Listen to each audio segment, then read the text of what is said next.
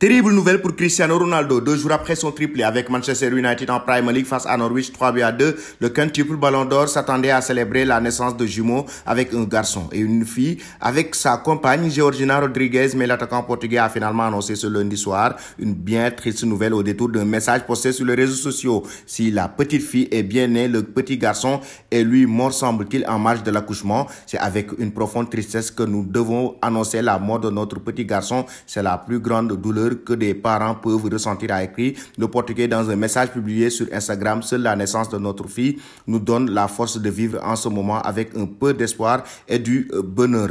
Après la douleur de ce drame, Cristiano Ronaldo et sa compagne ont tenu à remercier le personnel médical pour les efforts réalisés afin d'assurer la survie de leur garçon. Le couple demande aussi aux journalistes et aux fans de respecter leur vie privée dans cette terrible épreuve. Père de quatre enfants avant l'arrivée attendue de ses jumeaux, le Portugais de 37 ans avait lui-même communiqué en octobre dernier leur grossesse de celle qui partage sa vie depuis 2017. C'est encore une fois le couple Cristiano Ronaldo, Georgina Rodriguez qui a pris les devants pour annoncer la triste nouvelle ce lundi soir. Nous tenons à remercier les médecins et les infirmières pour leurs soins et le soutien pour sur Ronaldo. Nous sommes dévastés par cette perte et nous implorons le respect de notre intimité en ce moment difficile. Bébé, tu es notre ange, nous t'aimerons. Toujours Cristiano Ronaldo et Georgina Rodriguez. Une triste nouvelle pour le joueur euh, portugais.